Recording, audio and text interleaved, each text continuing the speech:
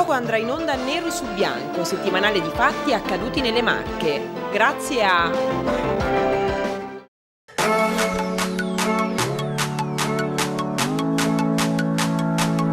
Oggi mi sento molto chic e shock perché sono stato da Moda Leader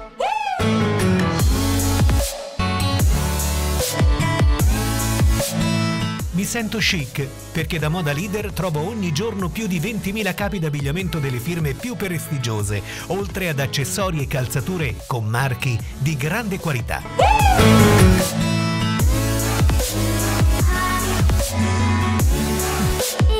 Mi sento shock perché ho fatto shopping scegliendo il meglio per me e per tutta la famiglia a prezzi straordinari. Da Moda Leader ogni capo è scontato del 50% sul costo indicato in etichetta. Sì, perché da Moda Leader trovi il meglio della moda, ma con prezzi dell'outlet.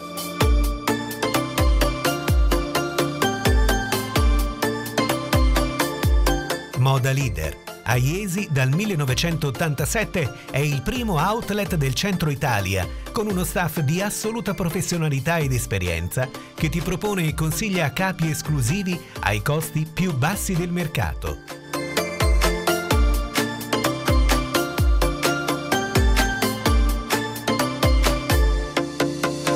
Moda Leader è un maxi store di 1000 metri quadri con nuovi arrivi settimanali ogni martedì per l'uomo, per la donna, per i bambini. Scopri lo stile di moda leader nel Maxi Store di Iesi in via Belardinelli 10. Aperto anche la domenica pomeriggio. Moda leader. La moda chic. A prezzi shock.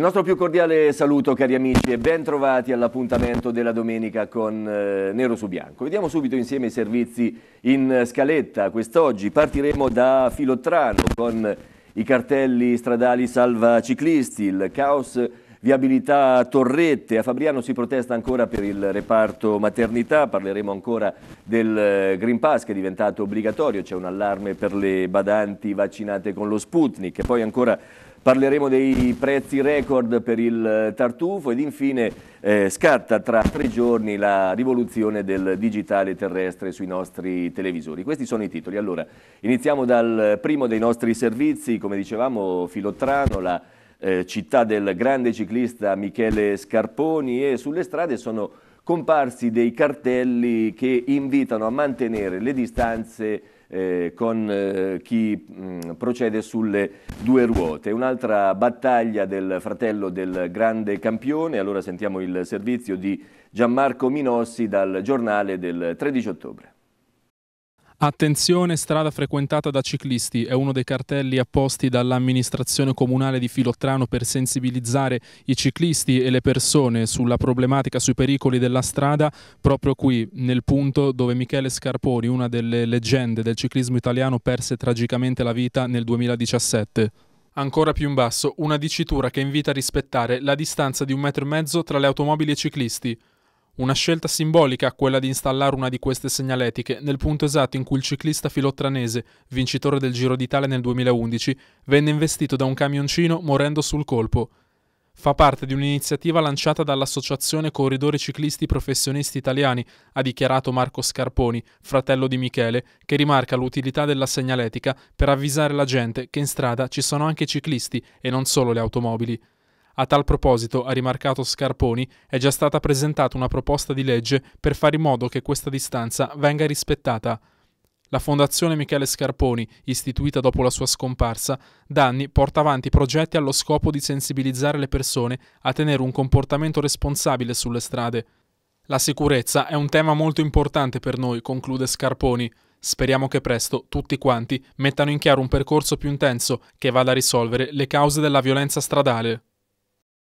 Restiamo nell'ambito della viabilità, andiamo però a Torrette, al caos Torrette tra cantieri e eh, sosta selvaggia. Eh, una situazione che viene da più parti denunciata, allora noi siamo andati con le nostre telecamere a vedere direttamente la situazione con Marta Vescovi dal giornale dell'11 ottobre. C'è tanta confusione veramente che ultimamente in ospedale un po', purtroppo sono venuto un po' tanto però Parcheggio dove trovo? Auto parcheggiate ovunque, gente esasperata, su tutto un cielo grigio e pioggia a intermittenza. E quella di oggi è stata una mattinata tutto sommato tranquilla per quanto riguarda l'affluenza. All'ospedale regionale di Torrette il problema dei parcheggi è da sempre serio, ma inevitabilmente con i lavori per la realizzazione del nuovo Salesi è peggiorato. I parcheggi a pagamento e quello esterno all'area dell'ospedale sono presi d'assalto già dalle prime ore del mattino e trovare un posto è un terno all'otto. I meno fortunati sono costretti ad arrangiarsi sfruttando anche i marciapiedi e aree riservate, con disagi per i pedoni, malati e accompagnatori. Eh, sono messa malissimo, mio marito è sulla sedia a rotella che mi aspetta dentro, guardi, è una vergogna.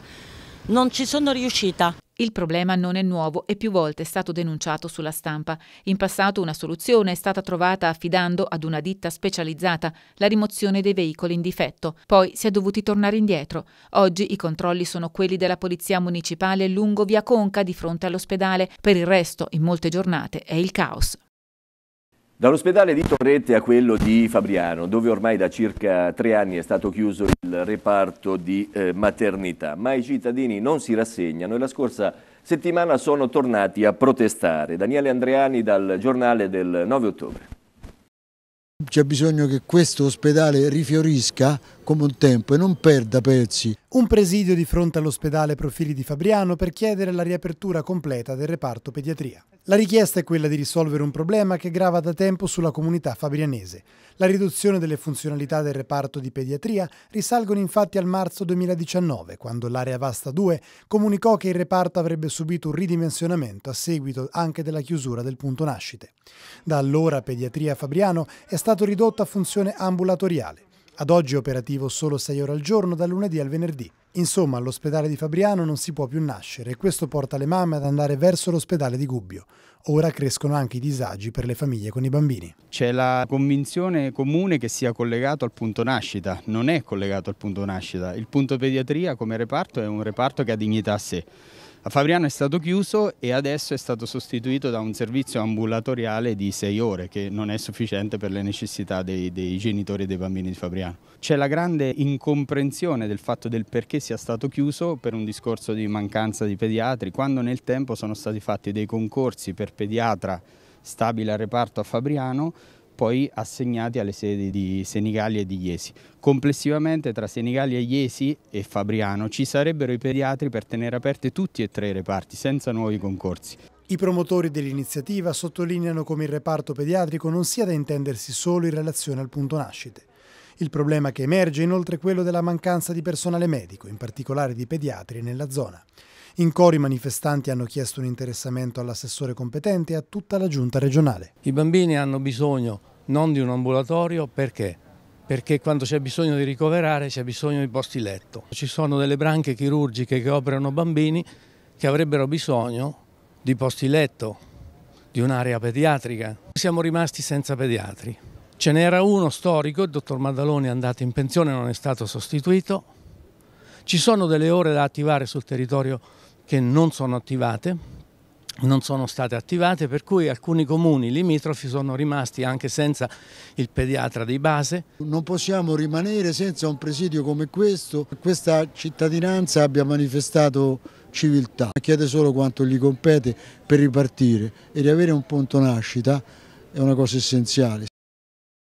Venerdì, come sapete bene, anche perché i mass media non eh, hanno parlato, non parlano d'altro, è scattato l'obbligo eh, del Green Pass nel mondo del lavoro. Ci sono varie situazioni complicate, tra queste anche quella delle badanti vaccinate con eh, lo Sputnik che non dà diritto al certificato verde. Sentiamo Marta Vescovi dal giornale del 14 ottobre. L'introduzione del Green Pass nei posti di lavoro riguarda molto da vicino le famiglie, soprattutto quelle che per esigenze particolari hanno la necessità di affidarsi a badanti e collaboratrici. 26.000 lavoratori e le lavoratrici stimati nelle Marche nel 2020. Di questi circa 16.000 sono badanti, 10.000 colf. Per oltre il 92% si tratta di donne, soprattutto straniere. Un esercito di lavoratori che dovrà munirsi di Green Pass per assistere anziani e aiutare tra le mura domestiche. Anche nel loro caso la verifica spetta al datore di lavoro e il problema principale riguarda il fatto che diversi lavoratori stranieri, molti dell'Est Europa, sono immunizzati con Sputnik, non riconosciuto in Italia. Da qui la scelta di chi nel settore lavora di una selezione a monte. Fondamentalmente persone che non sono vaccinate eh, non le prendo in considerazione, nel senso che chiedo eh, ovviamente alla famiglia, ma le famiglie ora vogliono tutte persone vaccinate e per me è un rischio troppo grande prendere persone che non hanno, non hanno scelto di fare il vaccino. C'è stato un caso di una persona che aveva avuto uno, lo Sputnik, ovviamente la famiglia non l'ha accettata. Io dall'estero non faccio venire nessuno a meno che non sia una che ha già lavorato per me che è andata magari per motivi familiari a casa, ma io eh, ho sempre mh, eh, presentato persone che o conosco o che sono referenziate da qui perché è inutile far spostare una persona che poi magari non viene accettata dalla, fam dalla, famiglia, ma molte volte neanche loro accettano un lavoro. Il problema anche per questo comparto è però complesso. Secondo alcune stime sono diverse migliaia i lavoratori che non hanno ancora ricevuto il vaccino e che dovranno comunque essere almeno muniti del risultato negativo del tampone. Una situazione che rischia di mandare in tilt la complessa organizzazione di quelle famiglie che devono gestire anziani e malati. Cambiamo decisamente argomento. Le scarse piogge dei mesi scorsi hanno portato ad una poco piacevole conseguenza per il tartufo, del quale le Marche sono una delle terre regine. Allora eh, è iniziata la stagione, ma i tartufi sono pochi ed i prezzi eh, da record. Caterina Cantori dal videogiornale dell'11 ottobre. Una raccolta scarsa ma profumatissima, almeno stando alle previsioni, è quella del tartufo, i cui prezzi del bianco pregiato a causa della siccità sono destinati a schizzare verso i 4.000 euro al chilo per il bianco pregiato. La raccolta del tuber magnatum picum è iniziata l'ultima domenica di settembre e vede le prime pezzature andare dai 2.000 euro al chilo per quelle piccole fino a 15 grammi, ai 3.200 per quelle medie tra i 15 e i 50 grammi, fino a 4.000 euro per quelle oltre i 50. Il prezioso tubero infatti al momento è quasi introvabile a causa dell'estate senza piogge. Oltre ad influenzare la quantità, la scarsità delle precipitazioni condiziona anche la forma, che a causa del terreno duro non sarà rotondeggiante, come invece avviene in presenza di suolo morbido. Il tartufo bianco infatti necessita di terra umida sia nelle fasi di germinazione che in quella di maturazione. Nulla però è ancora perduto, le piogge di questi giorni potrebbero infatti favorire le prossime raccolte. Comunque vada, quello che non verrà meno è la qualità altissima e il profumo intenso che inebrierà le fiere in calendario dopo un anno di stop a causa della pandemia. È già partita Pergola, che termina il 17 ottobre, e lo scorso weekend è iniziata anche la mostra del tartufo bianco pregiato di Sant'Angelo in Vado. Il 20 ottobre invece tocca ad Acqualagna e alla sua fiera del tartufo bianco, giunta alla 56esima edizione. A novembre appuntamento ad Amandola con diamanti a tavola. Scatta tra tre giorni, il 20 ottobre, la nuova rivoluzione del digitale terrestre con molti canali che non saranno più visibili sui vecchi televisori. Allora, tutte le informazioni in eh, questo servizio di Gianmarco Minossi. L'inizio del processo di switch off del 20 ottobre è sempre più vicino. Da quel giorno, con il passaggio di alcuni canali dalla codifica MPG2 a quella MPEG4, inizierà la graduale migrazione al nuovo sistema digitale terrestre DVB-T2, una tecnologia avanzata che consentirà di sfruttare la rete 5G e di godere di una qualità e definizione dell'immagine più alte. La data di mercoledì 20 ottobre è una sorta di apripista, un passaggio di un processo che coinvolgerà pian piano tutta la televisione italiana, la cui conclusione è prevista per il prossimo 1 gennaio 2023 una tappa obbligata che costringerà milioni di italiani a cambiare apparecchio TV e per il quale è stato previsto un bonus rottamazione del governo. Una trasformazione che coinvolgerà più o meno 12 milioni di apparecchi in tutto il paese. Rai e Mediaset al momento sono gli unici network che hanno svelato i loro piani per la data del 20 ottobre. un ingresso scaglionato dei loro canali nel nuovo universo, una possibilità che è stata garantita da direttive ministeriali. I primi canali a passare al nuovo standard saranno quelli tematici sia per la TV di Stato sia per il gruppo del Biscione. Per gli altri canali, in linea di massima quelli con i contenuti più generalisti, non cambierà nulla, almeno per il momento. Il consiglio è quello di effettuare una risintonizzazione. La regola più semplice è quella di sintonizzarsi sul canale di test della nuova TV digitale, il canale 100 RAI, e controllare che appaia la scritta Test HEVC Main 10. La stessa verifica si può fare se vedi canale 5 sul canale 5 della tua TV, anche selezionando il canale 200 Mediaset, e verificare se appare la stessa scritta. Solo nel caso in cui, anche dopo aver terminato tale procedura, persistessero problemi nel visualizzare la schermata, si dovrà necessariamente acquistare un nuovo apparecchio per poter continuare a vedere i programmi trasmessi dalla televisione italiana anche dopo il 1 gennaio 2023. E con il digitale terrestre, cari amici, siamo giunti al termine dell'appuntamento di oggi con eh, Nero su Bianco, il nostro eh, approfondimento che tornerà naturalmente domenica prossima. A questo punto allora a me non resta che ringraziarvi dell'attenzione ed augurarvi un eh, buon proseguimento con i programmi di TV Centromarche. Arrivederci.